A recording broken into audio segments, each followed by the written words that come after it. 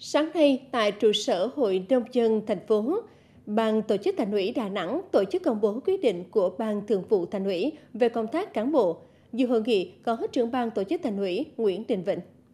Theo đó, Ban Thường vụ Thành ủy Đà Nẵng quyết định tiếp nhận đồng chí Nguyễn Hữu Thiết, Ủy viên Ban Thường vụ Quận ủy, Phó Chủ tịch Thường trực Ủy ban Nhân dân quận Liên Chiểu đến nhận công tác tại Hội Nông dân thành phố và giới thiệu để Ban chấp hành Hội Nông dân thành phố bầu giữ chức danh Chủ tịch Hội Nông dân thành phố nhiệm kỳ 2018-2023.